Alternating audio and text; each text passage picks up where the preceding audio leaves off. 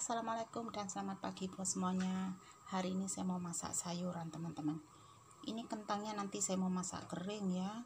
Dan di sini saya rebus dal teman-teman. Nanti saya buka dulu. Ini saya mau bikin dal ya Ataupun sambar ya. Ini udah masak ya Tinggal saya masukkan rempah nanti dan sayur teman-teman. Tapi saya sendiri nggak tahu ya Sayurnya tuh mau masukkan apa.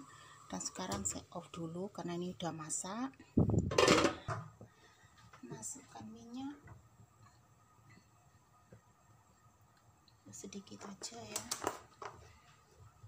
Biar panas dulu teman-teman.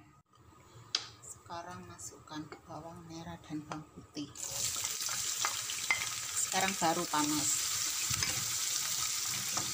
Maklum apinya kecil teman-teman. Jadi ambil waktu ya. Ataupun agak lama sedikit enggak banyak mau masak kering kentang teman-teman. Ini kentangnya tadi saya potong gini ya. Ini saya masak sedikit karena cuma buat makan siang. Ini bawang merah dan putih sudah kering ya. Sekarang saya masukkan daun kari. Apa lagi? Oke sedikit kunyit ya serbuk kari ya sedikit. Dan juga serbuk cili sedikit teman-teman. Saya masukkan sedikit garam ya atau secukupnya ya nggak mau terlalu banyak. Dan juga secukupnya secukup rasa secukupnya ya. Oke sekarang saya masukkan air asam jawa sedikit aja. Oke ini saya biar panasin dulu teman-teman. Sekarang terus masukkan kentangnya ya.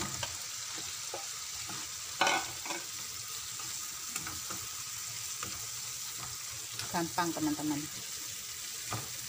Sekarang saya mau rasa dulu garamnya. Bismillahirrahmanirrahim. Cukup apa enggak? Hmm, cukup. Oke sekarang ini sudah siap. Sekarang saya mau masak dalnya teman-teman mau goreng bumbunya buat dal teman-teman.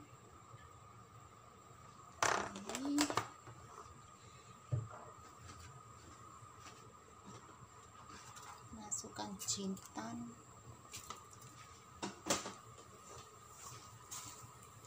Biji sawi.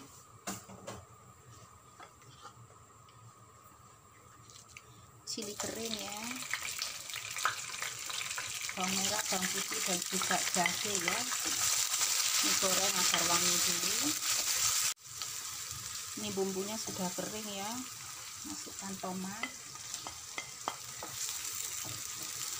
Ini dalam dal saya hanya pakai terong ya teman-temannya saya nggak pakai lain sayur seperti wortel kentang dan lainnya.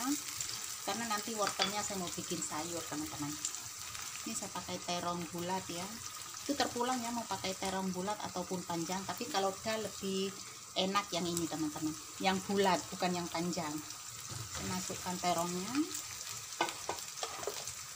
Satu saya masukkan sedikit kunyit ya. Serbuk cili. Serbuk kari. Sekarang masukkan air asam jawa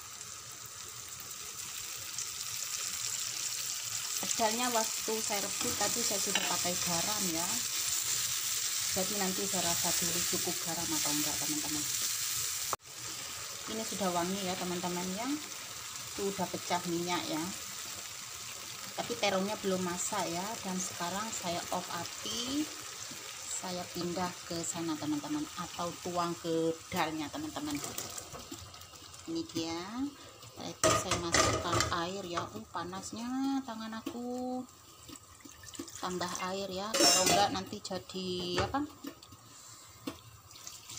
Jadi terlalu pekat ya teman-teman ya. Satu tangan handphone satu tangan pegang ini. Ini dia dalnya oke. Ini tunggu sampai masak ya karena terungnya itu masih belum masak ya. Dan garamnya juga nanti saya rasa sekali lagi teman-teman karena belum mendidih atau belum umur. Oke sekarang saya tutup dulu. Mau tumis cendawan teman-teman atau jamur. Pakai cintang karena di sini tuh masaknya suka pakai cintang gitu ya. Atau rempah ya. Biji sawi masakan India teman-teman memang banyak pakai rempah. Oh saya lupa. Kayu manis ya. Masak jamur pakai kayu manis teman-teman. Merah dan putih dan juga jahe. Sudah wangi ya. Masukkan sedikit kunyit. Harus ada rempah teman-teman. Ini serbuk kari ya sedikit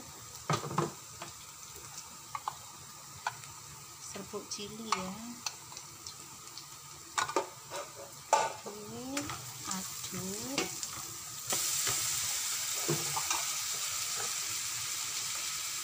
Garam ya sedikitnya.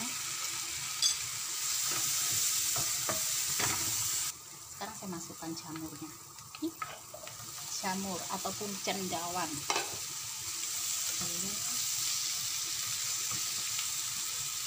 ini saya mau tambah sedikit air ya.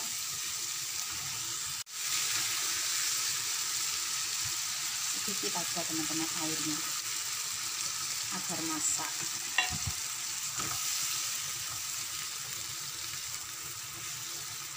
Darinya sudah siap ya tadi. Sudah masak. Dan ini cendawannya tapi ini enggak ada daun kari ya. Kehabisan daun kari teman-teman oke ini udah lagi udah siap dan setelah ini saya masak satu lagi sayur ya.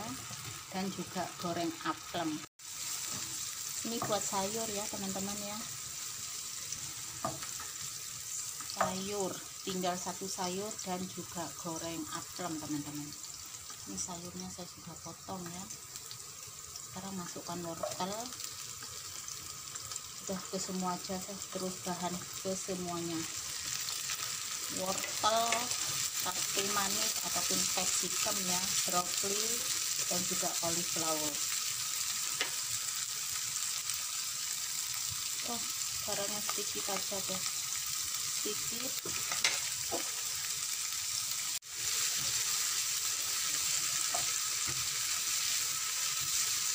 Ini nggak mau terlalu masak ya. Nanti saya rasa garamnya nih, cukup otot dengan sedikit aja garam.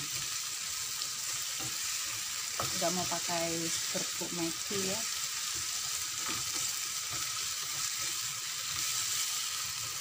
Kayaknya mau sedikit air teman-teman.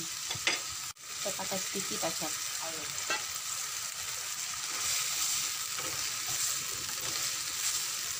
Oke ini sayurnya sudah siap setelah ini saya tinggal goreng aplem ya. Nasinya sudah masak ya. Oke saya off apinya nggak perlu terlalu masak teman-teman sayurnya. Biar apinya panas dulu. Nah itu dia. Baru bisa gede teman-teman